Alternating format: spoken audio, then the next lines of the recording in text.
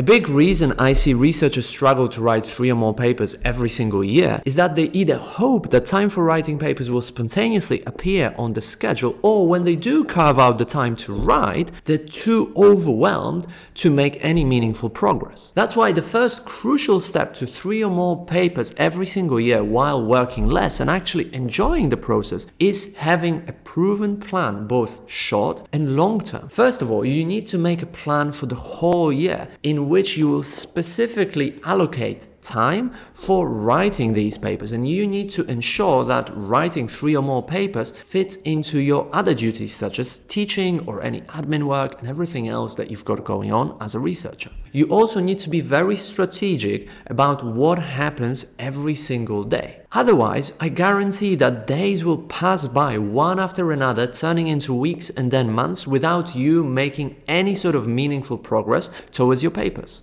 If you follow this, you will become way more productive than the vast majority of researchers in your field.